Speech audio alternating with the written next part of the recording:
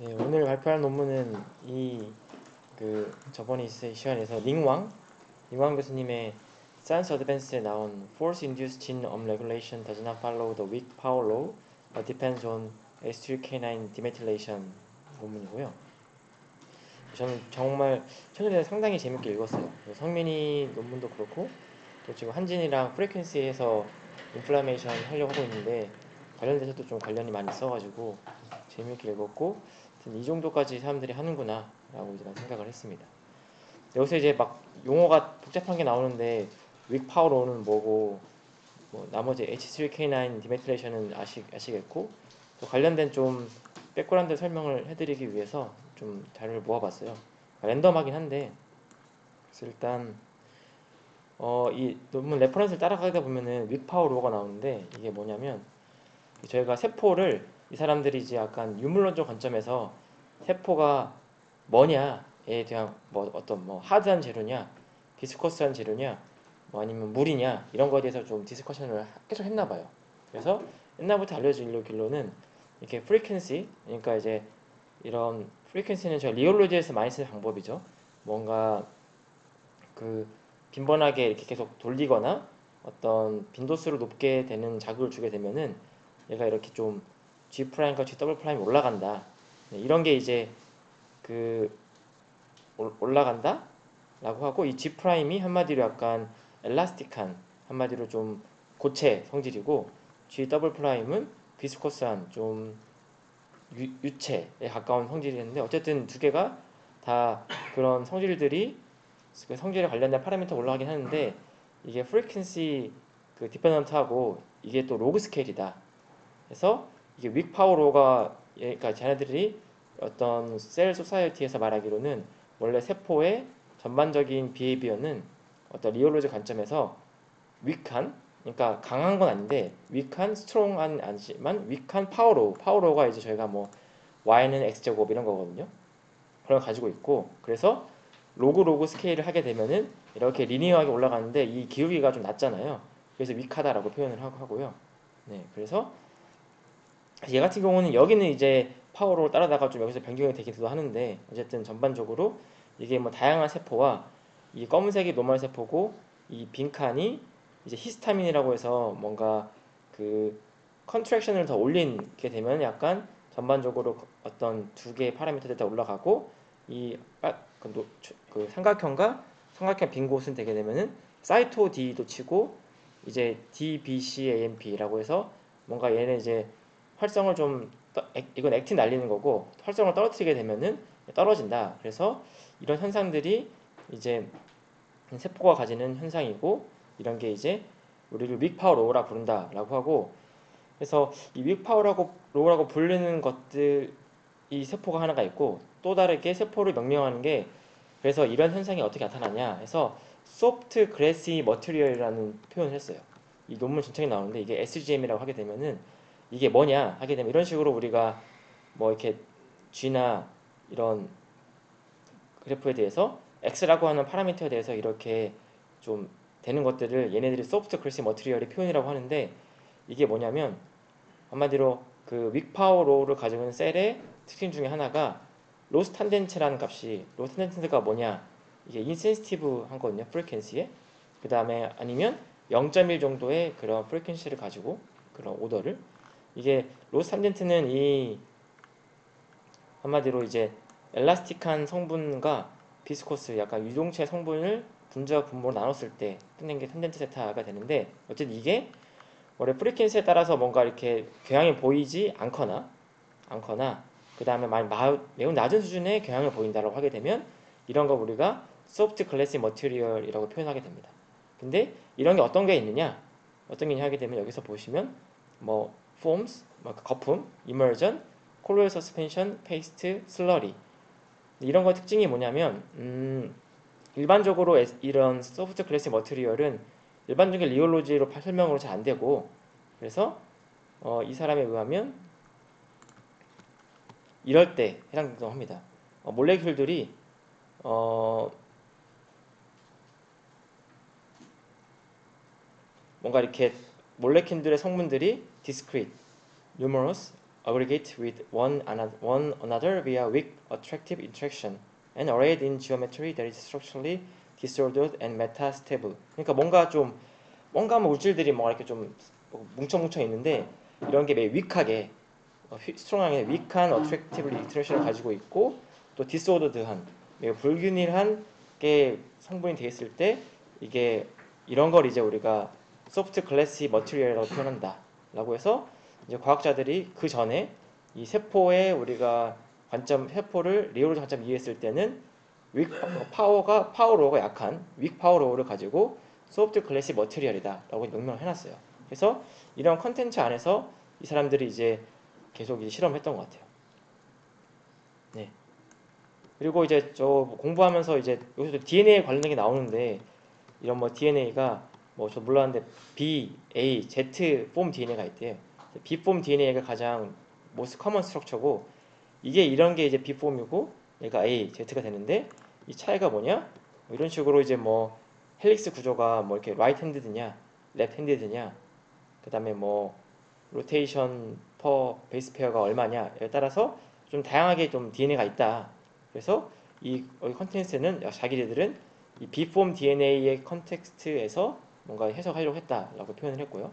처음 보는 개념이라 좀 신기해서 해봤고 그다음에 뭐 많이 아시, 다 아시겠지만 이제 그런 여기서 계속 뭐 히스톤 이야기 나오고 Pol 2 이야기 나오고 polymerase 나오는데 그래서 이런 식으로 이제 DNA가 서열되게 있으면은 이렇게 뭐 저희가 TATA 박스, 뭐 CAT 박스 이런 박스에 이제 뭐 어떤 그 프로모터, 프로모터 앞에 있는 이런 것들에 저희가 어떤 그 TATA박스가 특히 이제 프로모터 보니까 20% 정도에 이제 많이 있는 그런 시퀀스라고 하더라고요.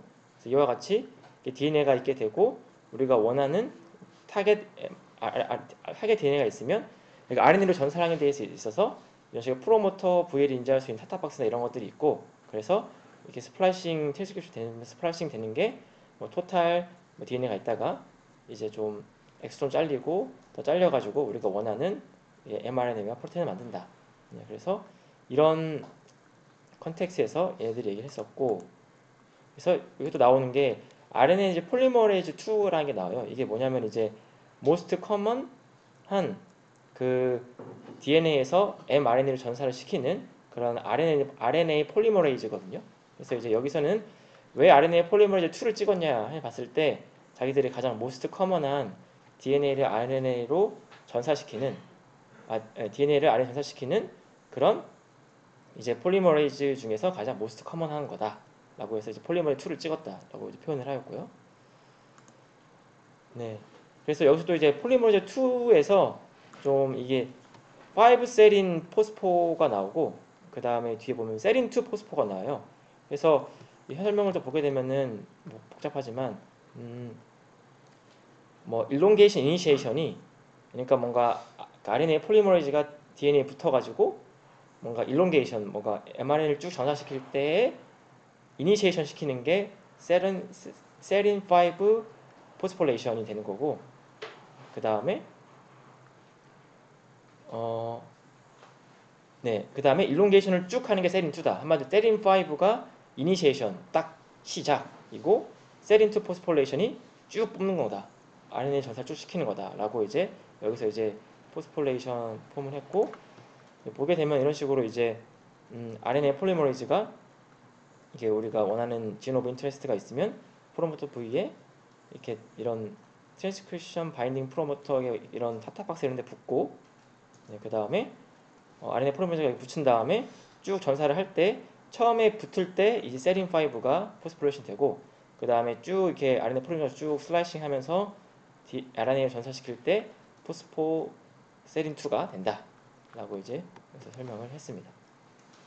했고 그래서 또, 또 다른 게 보게 되면 또 poor한 그 성분을 보이지만 여기서 처음에 딱 붙을 때 RNA polymerase 2가 어, 세린 5 phosphorylation이 쭉 증가되고 그 다음에 세린 2P가 쭉 이렇게 올라가면서 이제 elongation 된다 라고 해서 뭐 다시 한번 보시게 되면 이렇게 이니시에이션 할 때 보시면 이제 세린 5P가 딱 이제 처음에 activation 되다가 그 다음에 쭉 elongation 되면서 세린 2P가 dominant하고 그래서 이런 현상은 이미 밝혀져 있었던 거고 이 사람들이 이런 context를 안에서 실험을 했습니다. 네, 그래서 본문을 이제 가게 되면요. 그래서 지난주와 마찬가지로 이 친구들은 그 초셀을 이용하여서 이제 GFP가 라벨된 어떤 박, 백 인서션을 넣었죠. 넣어서 이제 우리가 원하는 여기서 이제 처음에 DHFR이라는 그런 DNA 시즈시스의 중요한 합성에 중요한 그런 진에 넣었는데 이렇게 넣어가지고 두 개 스팟이 있어서 그 두 개 스팟을 존재하게 하고 그 다음에 저희가 이제 magnetic을 입힌 그런 나노 그 그런 particle에 RGD 코팅을 해가지고 focal adhesion binding을 통해서 magnetic bead를 이렇게 움직이는 거죠. X와 Z로 움직일 때 Z로는 이제 약간 Z 축으로는 계속 이제 twisting field를 주고 XY Z XY 축에 어떤 magnetic field의 양에 따라서 각도를 주게 됩니다. 그래서 이렇게 elongation에 맞는 parallel한 것을 0도라고 하고 elongation에 수직된 거를 90도라고 표현을 했습니다. 그래서 아마 지난 시간에 했던 그런 거와 비슷하게 했고요. 처음에 이제 이런 CHO cell을 이용하고 DHFR이라고 하는 트랜스크리션에 거기에 이제 그 두 개 stretch 됐을 때 얼만큼 이제 크로마틴이 벌려지는지에 대해서 관찰하기 위해서 일단 처음에 bead displacement 내가 붙인 그 RGD 코팅된 bead의 displacement가 frequency에 따라서 이렇게 쭉 줄어들더라. 네. 그리고 예상하기로는 뭔가 뭐 frequency가 높으면 높을수록 뭔가 좀 더 뭐 많이 bead displace 일어날 것 같은데 줄어들었어요. 네. 그래서 뒤에 말하기로는 이런 줄어드는 양상이 저희가 이제 얘가 만약에 뭐 viscous한 케찹이다 하게 되면은 케찹 같은 경우는 이런 frequency가 막 빨리 저으면 저을수록 얘가 물처럼 돼서 stiffness가 줄어드는 양상이 보이는데 이런 세포 같은 경우는 frequency가 올라가면 올라갈수록 좀 더 이제 dense해지는 거죠. 좀 더 딱딱해지는 경향이 보인다라고 표현을 했고 그런 게 이제 soft glassy material의 대표적인 성질이다라고 표현을 했어요. 어쨌든 여기서는 이제 bead displacement라고 해서 외부에서 흔드는 것들이 좀 경향이 오히려 줄어들더라 라고 하고 나중에 이거 뒤에 나오겠지만 50% 증가됐을 때는 이제 얘가 뭐 똑같이 100이 밑에 있는 게 아니라 좀 증가하긴 해요. 비디스 아무래도 큰 힘을 당기니까 증가하긴 하는데 뭐 이런 양상을 보였다라고 했고요. 그 다음에 실제로 이제 밖에 흔들었을 때 안에 크로마틴 저희가 다이를 두 개 먹여놨잖아요. 다이 크로마틴 사이에 두 개 다이를 먹여놨는데 거기서 이제 그 DHFR이라고 하는 일반적인 이제 DNA CGS에 중요한 그런 진의 DNA 부위에 넣었을 때 걔네들이 뭐 적은 stiffness 똑같이 어 우리가 15파스칼로 움직이기도 했을 때 0.4 frequency 됐을 때 10% 정도 크로마틴이 stretch 되더라. 근데 그런 양상이 어 이 그래프 완벽히 똑같진 않지만 좀 이렇게 뚝 특히 6에서 줄어들게 되고 네, 어쨌든 여기서 좀 더 덜 움직이더라. 그래서 이거를 저희가 뭐 초음파 같은 거 때릴 때 왕창 때린다고 해서 좋을 건 아니다. 라고 여기서 좀 understanding 할 수 있을 것 같고요. 22.5는 50% 증가된 힘에 의해서는 뭐 아까 요거랑 비슷한 느낌으로 살짝 이제 힘이 더 많이 주었기 때문에 어떤 크로마틴 stretching이 더 증가되는 증가됐다 라고 하였고 그래서 그 중에서 얘네가 이제 100Hz를 골랐어요. 고른 다음에 100Hz면은 1초 100번이니까 한 사이클이 10, 10ms 되잖아요. 0.021초. 그래서 그때 한 사이클을 돌아야 되는데 비 디스플레인트 모드가 비드를 움직이게 했으면 거의 바로 이제 이게 그 여기 있는 내가 넣었던 그런 다이의 움직임 변화가 일어나는 게 거의 비슷하게 따라오더라. 그래서 뭐 거의 비드를 움직이자마자 얘가 따라온다. 그 크로마틴이 변한다라고 해서 네 그렇게 이제 좀 디테일하게 했습니다. 그래서 여기서는 이제 대제목으로 비 디스플레이스 다이마티 다이나미카 크로마 디포메이션이 연관이 있고 이게 frequency dependent 하더라. 근데 뭐 frequency가 높아하면 높아질수록 증가되는 게 아니라 감소되는 경향이 보였다. 라고 이제 표현을 하였습니다. 그 다음에 이제 FISH가 나오게 되는데 이런 식으로 이제 어 마우스 DHFR 처음에 저희가 이제 타겟 잡은 그런 DNA에서 뭐 특정한 사이트를 이제 PC에서 인시투로 저희가 얼만큼 이런 DNA가 RNA 전사가 됐는지에 대해서 관찰을 실시간 그러니까 관찰을 해봤어요. 해봤는데 여기서 이제 그 제가 저 궁금했었던 왜 FISH를 했느냐에 대한 description이 잘 나와 있더라고요. 그래서 이게 어딨냐? 페이지 페이지 요건데 제가 읽어보시면 얘가 이제 어, FISH를 했다. 근데 이제 어, DHFR을 뭐 few second 만에 우리가 스트레스를 주고 few second 만에 그런 트랜스크립션 하는지에 대해서 보고자 했고 그 다음에 얘는 이제 FISH 하게 되면은 of whole mRNA transcription 이 경우에는 10분이 걸린대요. 근데 우리는 막 초단위로 봐야 되니까 그렇게 해서 mRNA를 다볼 수는 없고 FISH를 통해서 막 힘 주자마자 2초 만에 2초 후에 픽스해서 보고 막 그런 식으로 했다라고 했고 그 다음에 이 PC 같은 경우는 어, newly synthesized partial T-script 그러니까 뭔가 full 시퀀스가 아니라 파셜리하게 나온 것들도 우리가 원하는 GFP 스팟에 있는 거에서 할 수가 있고 그 다음에 어, 뭐 다른 QPC에 비해서 좀 감도 낮다 그 마그니튜드 낮다고 하고 그 다음에 네 이렇게 표현했습니다 그래서 이제 FISH를 왜 했냐의 의미는 뭔가 저번 시간에도 같이 얘기했지만 좀 힘을 주자마자 몇 초 만에 뭔가 좀 트랜스크립션이 되는 거 보고 싶은데 우리가 full RNA를 보게 되게 되면은 10분 정도 걸린다. RNA에 따라서 사이즈에 따라서 근데 우리는 몇 초 그 10분 이내로 보기 위해서 이 FISH를 선택했다라고 하고 이 모든 FISH에 대해선 여기들이 이제 FISH가 한마디로 이게 어떤 이미지에 정량하는 거예요. 그 IHC, ICC처럼 그래서 정량되는 발현의 발현의 그 농도를 얼마큼 빨갛게 됐느냐, 얼마 초록색 됐느냐를 가지고 그냥 이미지를 정량한 거다라고 생각하시면 됩니다. 그래서 여기서 말한 이제 THFR, Transcription of Regulation도 이미지 정량을 해가지고 초록색이 많이 증가된 양을 가지고 뭐 스트레스 없을 때는 뭐 베이절 레벨이 있겠죠. 스트레스 주게 되면 얘가 좀 증가됐다라는 게 얼마큼 증가됐느냐를 이제 뭐 30% 발현이 증가됐다라고 표현을 하였습니다. 그래서 여기서는 당길 때 아마 2분 당긴 것 같은데 2분 정도 스트레스를 준 거예요. 그러니까 15파스칼로 그 bead를 2분 동안 당기는 거를 0.3Hz 당긴 거죠. 이렇게 당기는 거 아니고 쭉, 그, vibration 줬을 때, 이런 식으로 올라간 게, 어, 앞에 쪽 마찬가지로 다시 좀 줄어들더라. 네.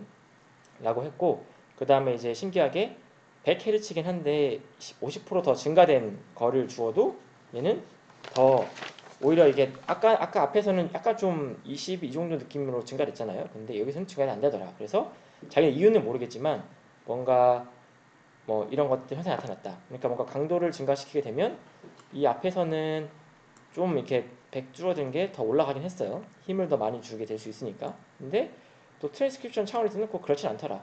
그래서 뭔가 잘 모르겠지만 이런 현상이 나타났다. 라고 표현을 하였고 그리고 이제 여기서 이제 이 앞에 말했던 bead displacement 그, 그 다음에 크로마티 스트레칭 DHFR 트랜스크립션 세 개를 다 이렇게 라인업 해가지고 봐봤어요. 그래서 frequency에 따라서 bead displacement는 이렇게 이제 좀 줄어들죠. 줄어들고 chromatin stretching도 똑같이 그냥 줄어들고 DHFR 트랜스크립션도 줄어들더라. 그래서 뭔가 양상이 다 비슷하게 보였다. 라고 이제 해서 우리가 생각하는 뭔가 스트레스를 밖에서 vibration 주게 돼서 현상이 실제로 chromatin stretching 영향을 거의 바로 미치고 그 다음에 그런 것들이 chromatin stretching 플러스에서 더 나아가서 어떤 우리가 원하는 진의 트랜스크립션 레벨도 올리더라 지금 바뀌더라 라고 이제 표현을 하였죠 그래서 여기서는 이제 어 아까 이 전 논문에서 각도에 따라서 차이가 있을 수 있다라고 해서 스트레스를 뭐 주게 되면은 그 parallel하게 주게 되면 증가되는 게 저희가 perpendicular하게 주게 되면 좀 더 많이 90도가 될수록 더 많이 이런 트랜스크립션 증가하게 되더라. 근데 이런 현상이 뭐 이렇게 frequency dependent 하고 보였습니다.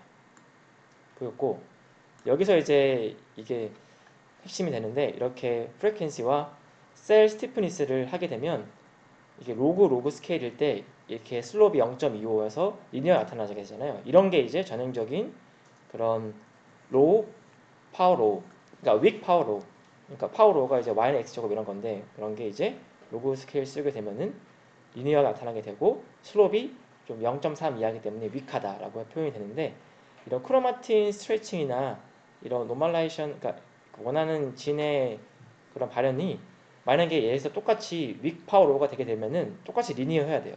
근데 얘만큼 linear하지 않잖아요. 그래서 뭔가 이렇게 막 스텝이 있고 그래서 이거 가지고 여기서 얘네들이 어, weak power law를 따르지 않는다.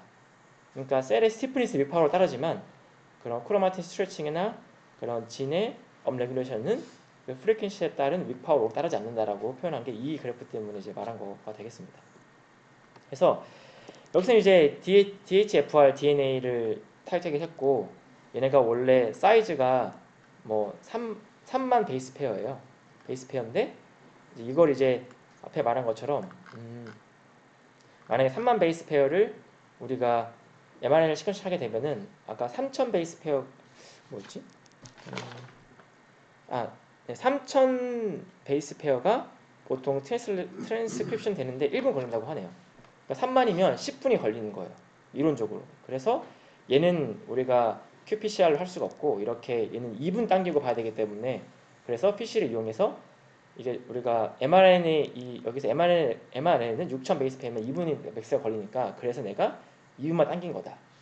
그래서 2분 당긴 이유는 FISH한 이유는 딱 이 내가 원하는 mRNA는 base pair를 가지고 3000 베이스 페어가 1분 걸리니까 트랜스크립션이 6000이면 2분이다 라고 해서 정확히 이제 2분을 본 거다 라고 이제 description을 했습니다. 네. 그래서 얘는 이제 재밌는 게 아까는 이제 DHFR이 3, 3만 base pair였잖아요. 그러니까 30kb, 30kb였는데 원래는 DHFR은 이전 논문에서도 했었고 대표적인 gene of interest로 근데 여기서는 EGR1이랑 Cav1이라고 하는 게 이미 알려져 있기로 mechano responsive하게 발현되는 진에 알려져 있대요. 근데 재밌는 게 EGR1은 원래 가장 dominant하게 알려져 있어서 3000 base pair예요. 근데 Cav1은 이게 30 그러니까 3만 base pair 30kb거든요. 그러니까 여기서 말하고 싶은 건 얘 EGR1 선택한 거는 DHFR에는 일반 normal한 그런 gene 말고 mechano response한 gene이 어떻게 될 거냐를 본 거고 이 Cav1은 그 중에서 그 DHFR 같이 사이즈 큰 것도 본 거예요. 그래서 사이즈 큰 거 컨트롤이고 얘는, 얘는 mechano responsive gene의 컨트롤이라고 보시면 됩니다. 그래서 스트레스를 없는 거, 스트레스 주고 뭐 이렇게 parallel하게 perpendicular하게 하는 게 이게 이제 저희가 그 FISH하게 되면 이런 나타나게 되는데 이런 DAPI 염색한 핵 안에 이런 게 뭔가 이렇게 이 증가 그 증가된 게 얼마큼 올라가느냐를 본 거예요. 그래서 보시면 얘보다 얘가 좀 증가됐고 그래서 얘가 1이라고 하게 되면 얘는 한 2가 되는 거고 근데 뭔가 앵글을 좀 더 perpendicular하게 주게 되면 수직으로 더 올라가더라. 그래서 이게 더 많이 발현됐다 라고 해서 EGR이라고 하는 피시 트랜스크립션이 2분만 당겨도 15파스칼 0.3Hz 2분만 당겨도 이렇게 올라가는 거 보였고 그 다음에 초에 따라서 그 내가 초를 2분 2분 당긴 거 본 건데 얘를 내가 5초 하고 보고 15초 하고 보고 60초하고 본 거예요. 그래서 내가 여기서는 15초만 당겨도 이렇게 빨리빨리 올라간다. 그 말은 즉슨 얘는 사이즈가 아까 3000이었잖아요. 3000이면 한 뭐 2분 정도 그 total 그 걸리는데 그 3000 base pair 안에서 또 원하는 mRNA 레벨 원하는 base pair는 좀 작을 거란 말이죠. 그래서 뭐 15초 만에 한 거 보게 되면 뭐 한 그 수백 base pair짜리 그런 짜근짜근한 mRNA들이 만들어지는 것도 detection 가능했다. 그래서 이걸 통해서 우리가 밖에서 외부에 힘을 주는 것들이 실제로 뭐 수 second 만에 mRNA 변화로 바뀌더라 라고 표현을 했고요. 그래서 좀 더 30kb 큰 것들 하게 될 경우는 얘는 10분 10분 동안 힘을 준 거죠. 왜냐하면 3, 30 base pair이기 때문에 그 30 kilo base이기 때문에 10분이 걸리지 않습니까? 그래서 10분 동안을 이렇게 max를 주게 돼서 하게 되면은 좀 더 이제 이렇게 올라가는 경향이 더 많이 각도에 따라 달라졌고 그래서 여기서는 이제 분 단위죠. 왜냐하면 얘가 사이즈가 크기 때문에 크기 때문에 1분 했을 때는 별 차이가 없는데 얘는 1분이면 확 올라가잖아요. 근데 큰 사이즈들은 1분은 차이가 없고 5분, 10분, 20분 해야지만 좀 차이가 나타나게 되더라. 라고 해서 사이즈에 따라서도 큰 것도 되고 작은 것도 되고 그래서 Cav1과 EGR1은 어쨌든 mechano responsive한 gene 알려진 것들 중에서 대표적으로 두 개를 골랐다. 라고 표현을 하였고요. 그래서 이제 이 앞에는 이제 30kb, 3kb, 30kb 그 다음 얘는 그 30kb 사이즈긴 한데 mechano responsive 하지 않은 gene을 골랐대요. 골라서 한 결과 음, 이런 식으로 이제 그 얘만 보게 되면 이제 얘만 보게 되면 빠른 타이밍에 팍 치고 올라가요. 그러다가 이제 saturation 되는 거죠. 근데 좀 큰 것들은 이 보라색과 파란색 같은 경우는 좀 5분 돼야지만 5분 동안 흔들어야지만 이제 올라오고 saturation 되죠. 근데 아예 responsive한 gene이 아닌 어, F, FKBP5가 되게 되면은 얘는 좀 이렇게 변화가 없더라. DHFR은 mechano response gene은 아니지만 얘는 이제 DNA 전반적인 DNA 뭐 합성이나 전사를 하는 게 중요하기 때문에 세포가 삶을 살 때 매우 중요한 gene 중에 하나래요. 근데 이 FKBP는 뭐 그렇게 dominant한 gene도 아니고 mechano response한 gene도 아니고 그래서 그런지 얘는 발현되지 않았다. 그래서 우리가 어떤 gene을 target하냐에 따라서 그 현상이 있기도 하고 없기도 하고 하다. 그리고 사이즈에 따라서도 좀 달라진다. 라고 이제 표현을 했습니다. 여기는 다 이제 0.3Hz 슈파스칼로 표현을 한 거고 네. 그래서 아까 이제 앞에서 했던 0.3Hz까지는 우리가 뭔가 좀 변화가 많았는데 100Hz는 얘가 그런 solid해지면서 stiffness가 오히려 좀 올라가면서 좀 세포에 반응이 없었잖아요. 그거를 다시 증명하고자 EGR1과 Cav1도 100Hz에서는 세포가 stiff해지면서 이런 발현이 안 됐다. 라고 표현을 하였고 그 다음에 이제 Pol2 S 그 세린 5 phosphorylation 나온 거죠. 이게 이제 그 Pol2가 DNA의 이니시에이션 딱 붙는 게 얼만큼 붙었냐를 할 수 있는 그런 것의 protein으로 이제 ChIP이라고 해서 protein을 뽑아서 해당되는 DHFR, EGR1, Cav1, F, FKBP5 프로모터 부위가 얼만큼 거기에 묻어 있느냐에 대해서 본 거죠. 그러니까 여기서 말하는 거는 Pol2라고 하는 polymerase가 이 해당되는 DHFR promoter에 많이 그 그런 promoter 부위에 많이 붙어 있으면 이게 아, 얘가 거기에 진짜 실질적으로 binding을 해서 전사를 하는구나를 알려고 했었어요. 그래서 이 스트레스를 주게 되면 증가된 것들이 100Hz는 줄어들고 EGR1도 마저 Cav 마찬가지인데 앞에 말씀드렸던 mechano responsive하지 않고 사이즈 큰 것들은 전 차이가 없었다 라고 해서 이를 통해서 우리가 poly RNA polymerase 2라고 하는 것을 recruiting 해가지고 recruiting 한다는 의미는 이 serine phospho 5를 얘기하는 거죠. 그래서 이런 전사 활성시킬 수 있게 됐다 라고 이제 표현을 하였습니다. 네, 얘는 이제 전형적으로 우리의 설명을 하려고 하는 ChIP-seq PCR이 됐겠죠. 그리고 이게 이게 정말 재밌었는데 figure 4가 저는 여기가 가장 재밌었던 부분이었어요. 그래서 여기서는 이제 그래 그 다음에 뭐 poly 2까지는 뭐 워낙 알려진 거니까 알았어. 그래서 그래서 좀 더 파기 위해서 어떻게 이제 뭐 진짜 물리적으로 어떻게 변했을까 핵이 봤을 때 이제 distance to nuclear periphery라고 해서 우리가 이런 gene들의 사이트를 아까 우리가 dye를 먹인 chromatin dye를 먹여가지고 이미지할 수 있잖아요. 어디 있냐. 그래서 걔네가 실제로 어디 있는지 봤더니만 이 periphery라고 하는 핵 외벽 외벽에서 이 핵 외곽 외곽에서 이 DHFR이 평균적으로 2 마이크로미터 안쪽에 있더라. EGR과 Cav1. 근데 신기하게 mechano responsive gene이 아닌 FKBP는 1.5 마이크로미터밖에 안 떨어지는 거예요. 핵 안쪽으로.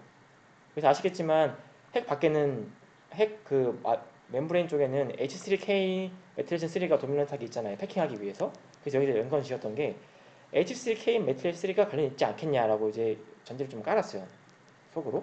실제로 보게 되면 퍼센테이지로는 이런 세 가지 responsive한 gene들은 핵 좀 더 안쪽에 있었고 그렇지 않은 이런 gene은 그 imaging 해봤더니만 진짜 periphery 쪽에 많이 있었다 라고 해서 그 다음에 1.5를 기준으로 잡았는데 1.5가 원래 알려져 있기로 1.5 마이크로미터가 H3K9 methylation 3가 분포하는 그 지역에 알려져 있었대요.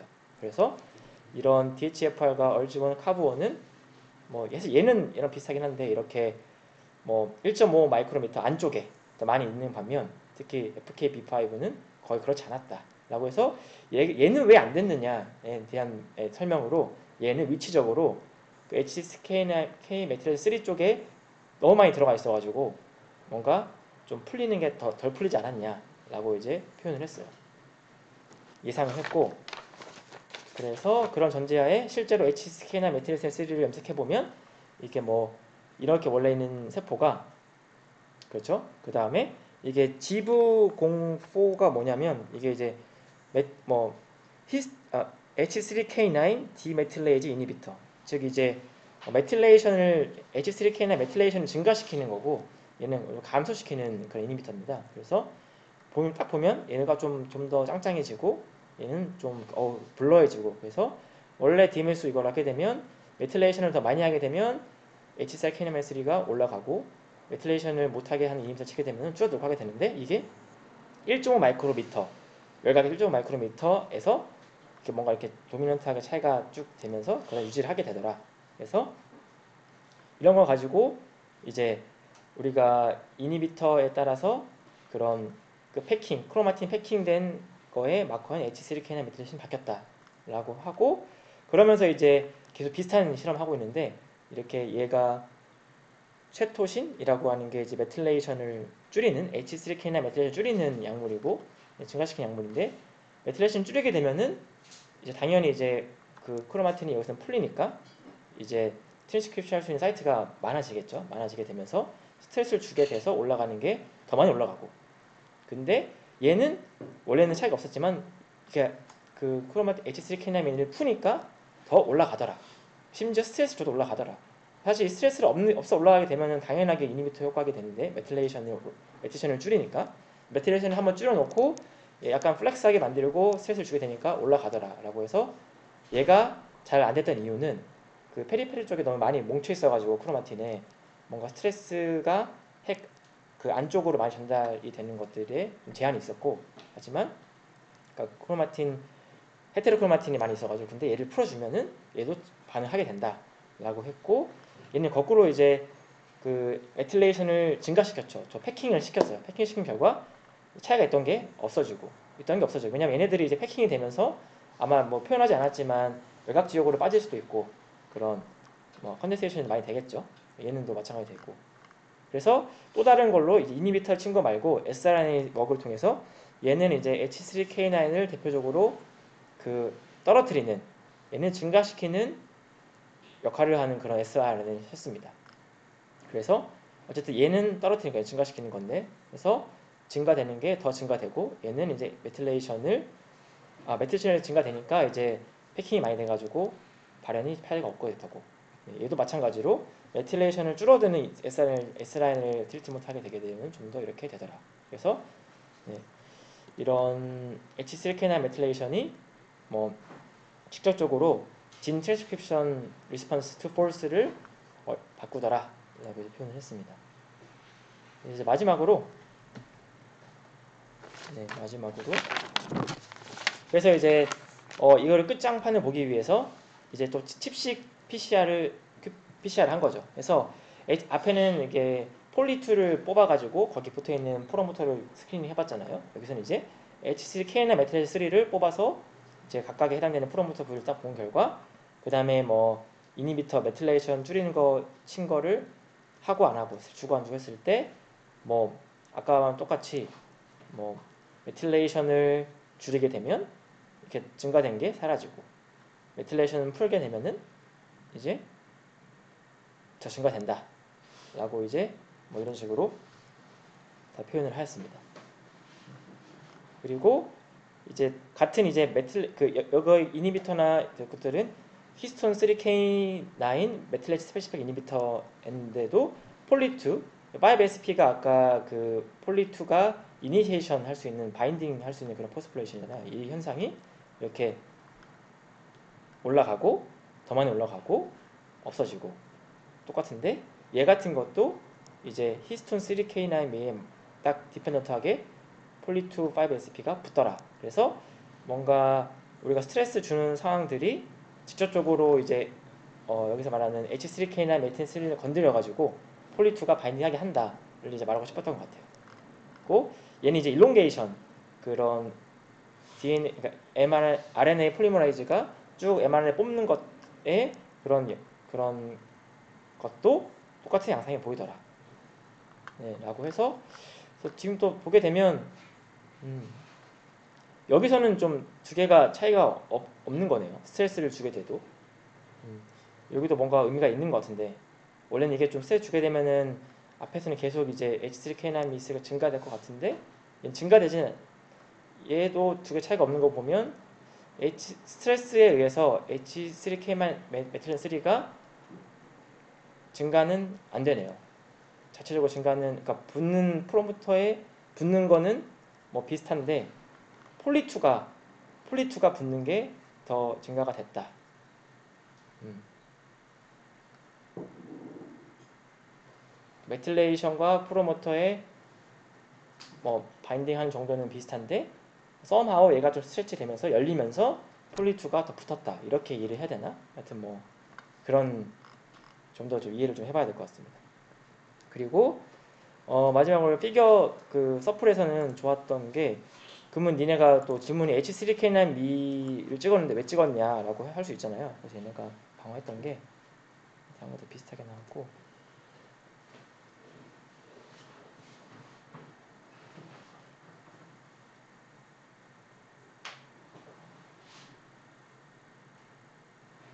어 여기서 이제 이거 같아요. 음.